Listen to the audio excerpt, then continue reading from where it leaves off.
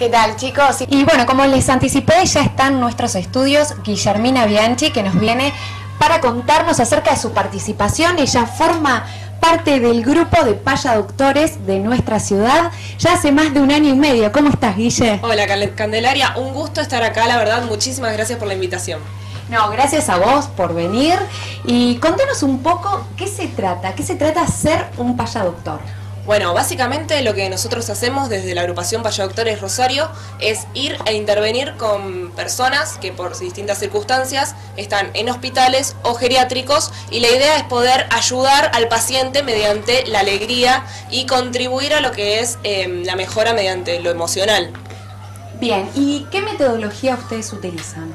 Bueno, nosotros cada uno de los payadoctores, que este año ya estamos incorporando 30 más, seríamos cerca de 130 ya, eh, lo que hacemos cada uno tiene su personaje, que tiene su vestuario, tiene su, personalidad, por decirlo de alguna manera, y la metodología que usamos es, bueno, ir a los lugares justamente a intervenir con los distintos pacientes. Igual, bueno, tenemos una, todo un protocolo, por decirlo de alguna manera, tenemos todas normas de bioseguridad, tenemos un pase, lo que se dice un pase, que es justamente lo que te permite que el médico te diga qué paciente está en cada habitación, qué es lo que tiene, cómo hay que tratarlo, cómo hay que cuidarlo, porque nosotros al fin y al cabo no somos médicos, sino que somos voluntarios de distintas profesiones, distintas carreras. Así que, bueno, un poco es eso para, para ir a intervenir en los lugares. Y contanos, me estabas hablando que cada uno tiene su personaje. ¿Cómo es tu personaje? ¿Cómo lo describís? Bueno, mi personaje, primero que nada, tiene un nombre, se llama Joaquina, Joaquina Jeringuina. Lo que se trata de hacer es agarrar por ahí elementos como una jeringa, suponete, de, de, la medicina, de la parte más estricta, y tratar de payasizarlo, por decirlo de alguna manera. De hacerlo distinto, de... El objetivo, al fin y al cabo, es tratar de transformar las cosas, de que la enfermedad se vea desde otro punto de vista y poder colaborar, bueno, a esto que te, que te comento de, la salud emocional. Y bueno, mi personaje mm, lo deberías ver en acción por ahí. Ella es muy, muy despreocupada, va, no, no pide permiso, ella no, no tiene problema con nada. Muy bien. ¿Y siempre intervienen en los mismos hospitales, eh, en los mismos geriátricos o tratan de... ¿Cómo se organizan? Te cuento, en la actualidad estamos interviniendo en, en, Centenario, en el ECA, en un geriátrico que se llama Tercera Edad, en el Hospital de Niños Vilela, y esos son los lugares donde intervenimos, tenemos habilitadas distintas salas, em, oncología, pediatría, bueno, el geriátrico todas es en general habilitado, em, diálisis, quemados, y se intervienen siempre en esos lugares alguna que otra vez se puede hacer alguna intervención en la calle por algún día en especial, por ejemplo, si alguna agrupación Cudayo, por ejemplo, que es una agrupación que realiza muchas actividades de donación de sangre, a veces nos invitan y cuando nos invitan tratamos de ir como para respaldar también esa actividad. Muy bien, ¿y cada cuánto son las intervenciones? Las intervenciones son semanales, una vez a la semana. Cada efector, que es como nosotros nos nombramos a los distintos hospitales, tiene su día. Y bueno, ese día uno va, tenés el, un tiempo previo sería en el que vas, te acomodás, te, te, pones tu vestuario. Claro. Y la intervención más o menos dura una hora, un poquito más, depende. Y después de eso, al final, se hace un balance donde todos lo que hacemos es compartir la experiencia que tuvimos ese día y, bueno, poder canalizarlo ahí. Muy bien. ¿Y cómo es el, el recibimiento de las personas? Y por lo general es bueno. Sí, es bueno, por más que, mm, que sean chicos o sean adultos. Em, les gusta, les gusta que estén ahí. Obviamente el, el, payadoctor no trabaja por imposición. Eh, si el paciente no quiere que entres a la habitación, no se entra, que también lo vemos como positivo porque es el paciente que está en un estado que no puede decir que no a nada, porque viene el médico, entra en cualquier horario, nadie le pide permiso. Entonces el paya pide permiso justamente y si te dicen que no, bueno, buenísimo también, porque están pudiendo decir que no en un ámbito hospitalario que no es lo común.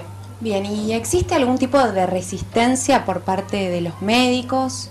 Y hay algunos que por ahí son un poco más duros. Mm. Es depende. Por lo general, em, hace ocho años ya que estamos en la ciudad, o sea que ya dentro de todo nos reciben Están bien. acostumbrados. Claro, pero hay algunos que por ahí son un poco más mala onda, por decirlo de alguna manera. Pero bueno, uno también tiene que intentar em, entrar en esa situación y poder, bueno, mostrar lo que uno hace, que también somos una herramienta para ellos y que también, bueno, colaboramos y estamos... Sí, porque no hay que dejar de lado que es como una, como vos decís, una herramienta más que ayuda a, la, a, la, a, lo, medici, a lo medicinal. Claro, a la no salud del solo, paciente. claro, es estar internado, tomar una medicación y demás, sino también un poco de humor, de alegría que ustedes se los dan. Claro, y claro. acompañamiento. Sí, exactamente, también, también, de eso se trata. Muy bien, ¿y vos qué sentís al serlo? Y a mí me encanta, a mí me divierte mucho. Es como, yo eh, particularmente intervieno, inter- intervengo en pediatría en, en- en el centenario y el sábado, bueno, es, es una fiesta el hospital. Es muy divertido y uno lo pasa bien y aparte eh, Los te hace bien. esperan. Te esperan y aparte a uno también le hace bien. Muy bien, y mucho más en fecha del Día del Niño, me imagino que Ah, sí. se Sí, deben seguro. hacer algún, algún día especial para ellos. Y bueno, y durante el mes de agosto, en la provincia de Buenos Aires, eh, se sancionó una nueva ley para paya doctores.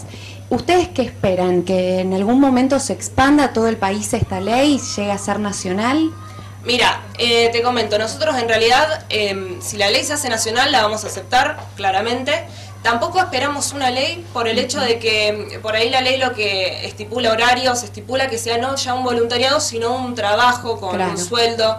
Y nosotros en realidad nuestro objetivo no es ni que sea un trabajo ni que tenga un sueldo, sino que se mantengan los valores de un voluntariado. Claro. Sí sirve para dar, legitimar, para dar legitimidad a la actividad, por lo cual eso está buenísimo, pero bueno, eh, nos iremos amoldando si sale. Eh, tampoco, bueno, vamos a estar en contra, sino que, bueno, se verá cómo se van a redistribuir esos fondos que nos den, o bueno, se tratará de ver cómo se hacen. Bueno, muy bien. Muchísimas gracias, Guille, por Bueno, ser la gracias. invitada del día. Muy linda la entrevista. Así que, chicas, vamos a seguir con mucho más listo, en Listos para Desayunar. Bueno, muy linda la entrevista de Can de Guille, ¿no? Perfecta, hermosa la actividad que realiza Guillermina Bianchi, ese voluntariado, que la verdad que es muy importante que se mantenga así, como un voluntariado es una actividad muy linda, muy recreativa, buena para la gente que lo hace y también para quienes reciben, por supuesto. Exactamente, nos gustó mucho compartir esta entrevista y que bueno, puedan contarle ¿no? a la gente por esta experiencia que pasan ellos, tanto ellos como la gente que está internada, ¿no? Que por ahí sirve un poco para descontracturar y, y verle el lado positivo a las cosas, ¿no? Claro, la situación de ser un hospital a veces es media tensa, así que está bueno que estas actividades se realicen. Bueno, así que continuamos, Flor, con el programa, con el próximo columnista. Y sí, ahora lo tenemos a él, el amargado, el serio. Fernando, sí, Fernando. Presentamos a Fernando Raca con su columna. No, chicas, ¿por qué amarga? Yo podría ser tranquilamente paya médico, ¿sabían ustedes? Ah, nos interesaría. No, no, yo soy muy gracioso. ¿Quieren que les cuente un chiste? Bueno, A ver. ¿Qué le dijo un jardinero a otro? ¿qué le dijo? Hablemos mientras podamos. Eh, claro, claro. Es buenísimo, decime. Claro, claro, bueno. Esos En chistes. serio, yo, yo voy a ser paya médico algún. Esa, bueno. ¿Te ese- gustaría? Me encantaría. Ese, sí, ese sí, es me encantaría. Fernando, ese es nuestra columnista. Queremos una sonrisa de Fernando, a ver. Sonreíle a las chicas que están del otro lado. Primer plano de la sonrisa. Bueno, bueno, chicas, basta. Tengo, tengo Las una- chicas una chica esperándome en enloquecen, enloquecen por él. Bueno, eh, paso a lo mío, que es bastante interesante. Les cuento que estuve en Tecnópolis este fin de semana, el sábado, estuvo la, mm, la conferencia de desarrolladores de videojuegos y estuvo, ¿saben quién? Nada más ni nada menos que Jens Bergensten. ¿Saben quién es, chicas? Ese chico. Sí, por, por supuesto. No, no saben. es no, el desarrollador, es el desarrollador de nada más, desarrollador de nada más ni nada menos que Minecraft. Mm, ¿Saben qué es Minecraft? Minecraft es un videojuego que ha tenido bastante trascendencia, que consiste en generar ambientes mediante el uso de distintos tipos de materiales. Es un videojuego que ha tenido mucha trascendencia. Bueno, después le voy a estar contando todo lo que se fue desarrollando, todas las charlas que estuvo en, en esta conferencia latinoamericana de videojuegos que se realizó en Tecnópolis el pasado sábado. ¿sí? También para ustedes que ven YouTube, chicas, ¿ustedes ven YouTube? Sí, por supuesto. Están cansadas, sobre todo en, en esta última, en este último tiempo donde hubo muchas noticias de publicidades políticas. ¿sí? y que aparte hay algunas que no las podés saltear. Hay algunas justamente que no se pueden saltear, tuvo muchas quejas. Bueno, por lo tanto YouTube ha anunciado que va a abrir canales eh, de suscripción. O sea que uno va a poder pagar, eh, va a salir 10 dólares por mes. ¿sí? y va a tener un canal eh, VIP, se podría decir, de YouTube, donde puede acceder a contenido original y sobre todo sin publicidades. Así que es muy interesante. Mañana, en realidad, mañana en Estados Unidos se habilita esta opción para los usuarios de YouTube y bueno, ya llegará también aquí a Latinoamérica y Una Argentina, competencia más para Spotify, que también sacó su... Claro, tal cual. Bueno, eh, premium. YouTube también va a sacar, hablando de eso, un canal de música. Un Claro. canal exclusivo de música. También lo está a punto de sacar, lo ha anunciado. Así que ahora Google, al haber comprado YouTube, está ya haciéndolo un poco más redituable, se podría decir, ¿no? Muy bien, Fernando, trayendo información que, que conocemos. que Es muy interesante, la verdad. Y bueno, para finalizar, les, les comento una aplicación bastante interesante. ¿Tienen perro? Sí. ¿Sí? ¿Tienen perro? ¿Y saben cuando está contento, cuando está triste, cuando está enojado? ¿Saben? Sí, muchas te das lo podés- si lo conoces lo podés deducir. Bueno, te cuento que hay una aplicación ahora que lo que hace es decirte el estado de ánimo de tu mascota, especialmente de tu perro.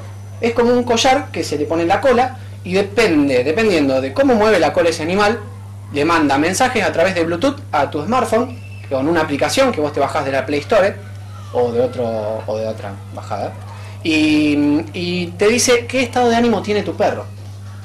Te cuento que es de la empresa Dogstar Life y la aplicación se llama Dovetail Talk. Du- no, Dovetail Talk. Amamos. Du- eh, no, me llevé inglés, chicas, en la secundaria. Dovetail Talk es la aplicación. Dicen los especialistas que un meneo hacia la izquierda sugiere agresividad del animal. Y un meneo hacia la derecha sugiere que está alegre. Entonces, dependiendo de la intensidad de cómo se mueva la cola, O sea, de la velocidad, posición también. la posición de la cola y un montón de factores, te llega un mensajito al celular y te dice, estoy contento. Claro, porque tendría que mirarlo mirar. todo el día, sino para ver cómo se le mueve la cola, si está contento, si está triste. Es como la Bueno, pero por ejemplo, claro, por ejemplo vos te vas de, de viaje y dejas a tu perro solo. Y entonces eh, no sabés cómo está, pobrecito, no sabés cómo le está pasando. Entonces vos estás en el avión, no en el avión no porque no podés usar celular en el avión, no se puede. Pero bueno, estás tu en otra ciudad. Llegaste a tu destino y querés saber cómo le está pasando a tu perro y te llega el mensajito. como que él te manda un estoy mensaje". contento, estoy triste, Claro. tengo hambre. Y a vos te da lástima nada más porque no podés hacer nada porque estás lejos. Pero es Es la voz del perro. algo bastante La próxima será una La aplicación. voz del animal. Así es, y te llega a través del celular mediante una aplicación que se llama Double Tape Talk. Chupate esa mandarina. La ¿La van a bajar a la aplicación? Porque La además de la aplicación se tiene que comprar el collarcito. Sí, Eh, sí, yo muy me compro todo y me bajo todo. Sí, Te digo, sí. Les digo para los especialistas, para que entiendan un poquito del tema, combina para trabajar un acelerómetro y un giroscopio. Ajá. Ajá, ¿entienden? Ponele. Sí, Ponele que sí. Importante es que es más podemos menos, saber lo que ¿hicieron nos dice fitness nuestro alguna perro. vez? Cuando Sí. te, toman, te toman las frecuencias Sí, cardíacas, es más o menos algo, algo parecido. Claro. Bueno, la próxima vez nos tenés que traer la aplicación. Hacemos la prueba. Le traigo un si quieren también. No, pero una aplicación que le pueda dar de comer, que le pueda hacer mimo cuando nosotros no estamos, Y porque bueno, si no nos eso ponemos no. mal de que tenemos toda esa información para saber cómo está el estado de ánimo de nuestro perro y no podemos hacer nada en otro país, en otro lado. No sé, Fernando, ponete A las mí me pilas, haz encantaría las si recomendaciones Fernando- necesarias. Sí, a mí me encantaría saber si Fernando tiene perro. Sí, sí, sí, tengo, ¿Cómo se llama? tengo un dogo alemán, se llama Peter. Ah, muy bien. Un saludo que me está viendo en casa, hola Peter. Capaz que no te llega la aplicación, dice que contento. No, pasa que él, él siempre se pone enfrente de la televisión y, y me mira porque le, le gusta. Y tengo la aplicación y en este momento está. No Estoy contento, encima, Peter. Estaba seguramente moviendo la cola mirando a papá. Hola Peter, ¿cómo estás? Bueno, Fernando, te agradecemos por esta columna tan interesante. Yo Gracias, tengo una pregunta para hacerle a Fernando también. Sí. ¿No tenés calor con la camisa prendida hasta ahí arriba?